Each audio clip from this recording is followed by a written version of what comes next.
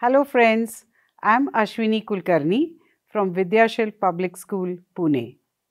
Today, I am going to show you some interesting activities to introduce the concept of work and energy in physics from class 9 level. That will help you.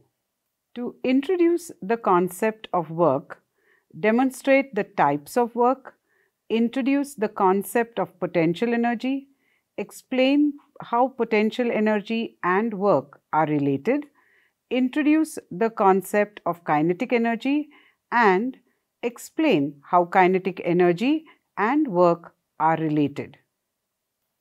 Let's begin. Before we start unloading all this information, let me show you how to make a fun and a easy toy.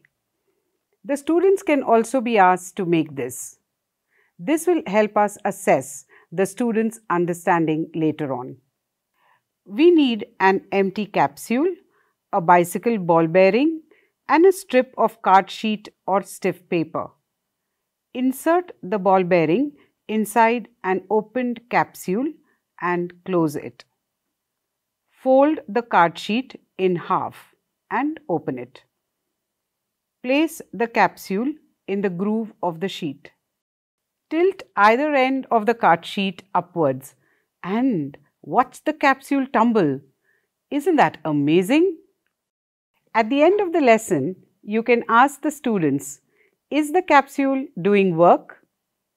At this stage, the students will find it difficult to answer this question. They have some different idea of the meaning of the word work, which is not the same in physics. This brings us to the interactive activity to introduce the physical concept of work. We need two volunteers with their bags. One student holds a school bag and stands in a fixed position. Another student holds a bag and walks to the end of the classroom and back. The class can discuss who has done work, who has not done work. As the answers to those questions might be counterintuitive based on the conventional use of the word work, we introduce the definition and formula here. The next step in understanding work is to look at its types positive, negative, and zero. The idea of negative work might confuse them. Let's demonstrate it by using a familiar object a weighing balance. To make a simple weighing balance, tie the cups on either end of the ruler in such a way that the ruler stays horizontal. Let's put a small weight in one of the cups. Now, fill the syringe with water and carefully release it into the other cup until the weights are balanced. During the demonstration, ask the students to describe the force involved and the work done by both cups. The concept of work is necessary to understand energy. But like work, energy also has a different meaning in physics. Let's make a cool toy to explain kinetic and potential energy. We need a corrugated sheet, four wheels, a plastic bottle, tape, two pieces of bicycle spokes, a rubber cork, a bicycle pump, take the rectangular corrugated sheet and attach a wheel with the help of spoke. Take an empty plastic bottle and tape it to a rectangular corrugated sheet. Fix this rubber cork on the mouth of the bottle.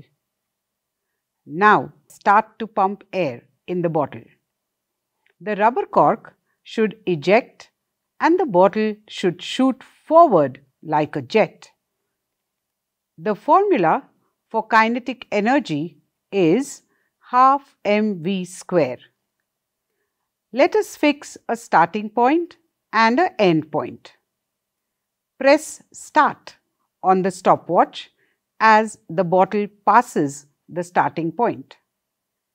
Stop when it crosses the finish line. We will measure velocity as the distance divided by the time of the bottle jet. We now weigh the bottle jet and calculate its kinetic energy. Let's calculate the work done by the bottle. Mass times velocity times distance. Let's rewind to before the bottle was released. At this point, the bottle has potential energy that will be converted into work. Now, since we have introduced the topics of work, kinetic energy and potential energy, we can ask the same question once again to the students. Is the capsule doing work? And have a discussion on it. I've used simple objects that are easily available to construct the setups of these activities and can be used year after year. There are more activities to explain the principle.